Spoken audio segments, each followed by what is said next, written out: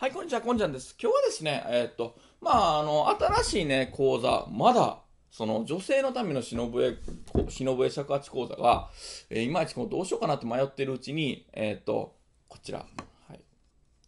僕、そろそろ一夜切りの講座したいなと思って、一夜切りってあの、全然、その、してなかったので、一夜切りの講座したいなって思って、えーっと、ちょっと、あの、動画上げてみました。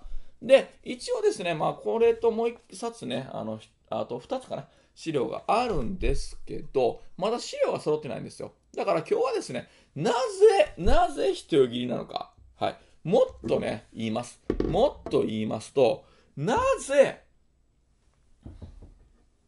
ね、このね、あの、わけのわからんね、でかい尺八で、ね、あの、古典本曲をね、吹くことに熱中していた、ね、ね、私が、なぜ今更短い間なのかというところです。はい。ね。だから、これ吹いてる人が、これ吹いてるっておかしいでしょ。はい。うん。だから、普段からめぐみんみたいにね、あの、なんか極大魔法を打っている人が、今更なんかこう、チャッカマンみたいなね。はい。まあ普段から、こう、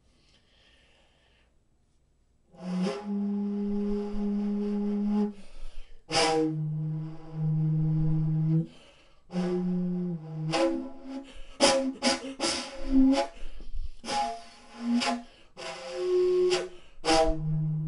たいなね、感じでなんかこう、まあゆったり、ゆったりいきましょうか。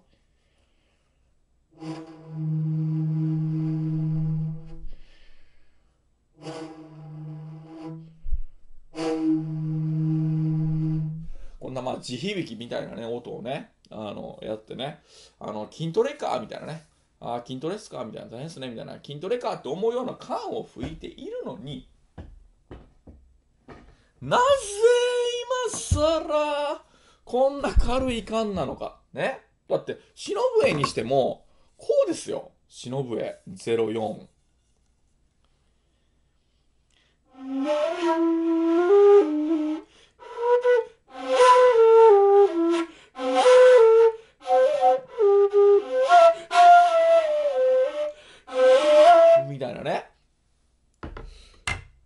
例えばまあ、もうバーンスリーにしても、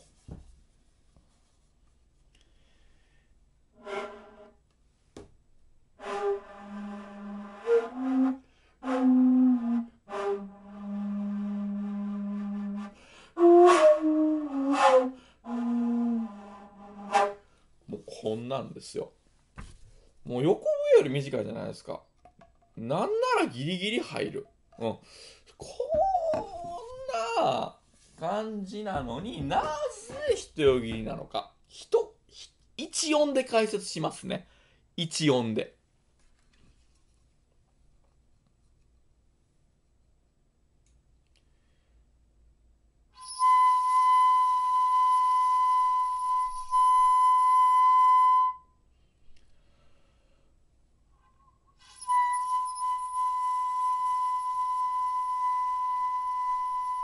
この音が気に入ったからです。もう正味これですね。この音なんですよ。私が好きなの。まあ、ここ押さえてもいいんですけど。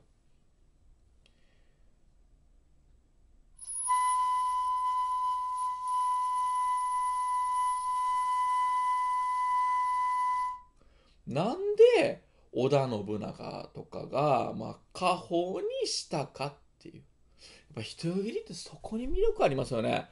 みんな大好き戦国武将の方が家宝にするほど、ね、まあ家宝にする楽器、まあ今でも博物館にね、いろいろありますけど、家宝にするほどこの楽器の音が優れていたというところなんですよ。で、まあこの楽器的に言うと、なかなか普通の曲作れるようにはできてないんですけど、やっぱり、まあここから奏でられる音色がね、素晴らしかったんでしょうね。まあ当時のね、当時どんな曲だったかは、まあ、あの、まあ、口伝途絶えているので再現することはできませんけど、譜面だけ残ってますので、あの、譜面と、まあ、その再現演奏をもとにって感じなんですけど、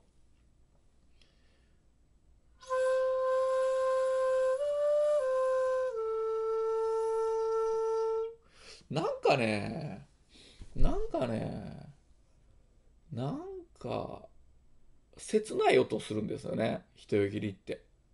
で、まあ普通の尺八の、えーっと、ちょっと待ってくださいね。一瞬で見つかればいいんですけどね。よいしょ。よいしょ。あるかな？ないかな？あった。あったよ。ありました。この子。まあ、あの、と、故郷って呼ばれるののうちの、まあ、その、まあ、一つの種類なんかなと思うんですけど、これ、あの、江戸、江戸です。江戸ですね。江戸で作られた、もうこんなんですよ、田口のやつなんですけど、まあまあまあまあまあまあまあまあまあまあ、大体同じような長さですね。で、例えばいきますよ。これのさっきの音。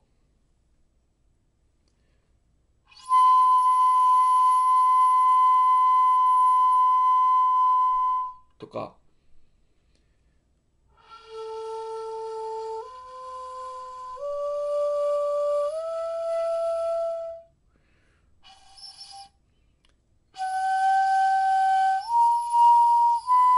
ね、こんな音がしますと、江戸、江戸の、江戸の、まあ、ちょうど、もうめちゃくちゃ枯れてますね、これね。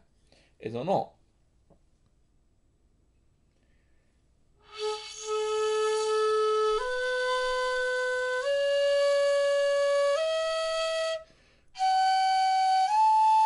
この音聞いてくださいね。まあ、同じ、あの、音程違うかもしれないですけど、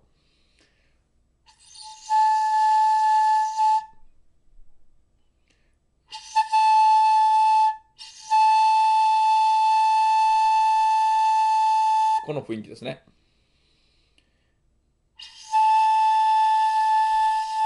と、と、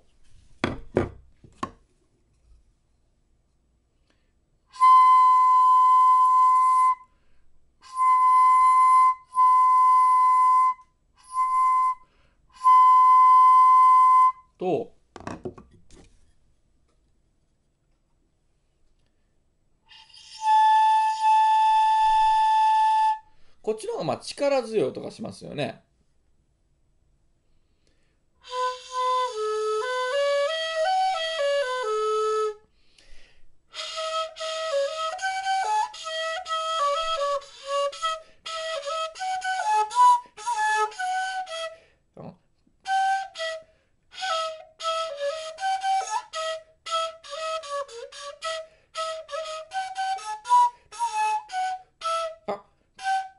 ね。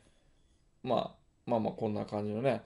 まあ、小歌でも吹かれてたんですかね。江戸のね、あの、まあ多分こう、絵とか書いて、まあなんか、町民文化の中に入ってると思います。ただまあ、えっと、これも、こう、根から、根からですので、これまあ逆から切ってるんですね。まあそんないろいろあってですね、あの、正倉院尺八の方も、一つだけこの人よぎりのように、こう、こう、竹をね、多分竹こう生えてるんですよ。この竹を逆からね、こう、根元からこう使ったっていう形の、で、音色が違いますよね。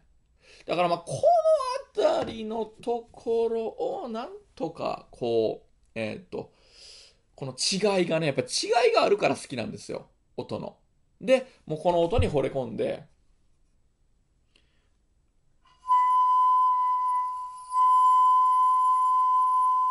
この音に惚れ込んで、まあ、あの、人よりもね、ちょっとね、やってますのでね、まあ、そのあたりでね、まあ、人よぎりは、あの、比較的、あの、お安く手に入る缶なので、まあ、ご自身で作ることもできるでしょうし、ちょっと調べられたら。あの、ということで、ちょっとね、あの、まあ、どんな風に始めるのかとか、教材はどういう風に入手するのかとか、どういう風に、まあ、一応最初注意したらいいのかっていうのを、あの、中心にね、私も全然知らないことだらけなんですけど、私が知ってる範囲でしたいと思います。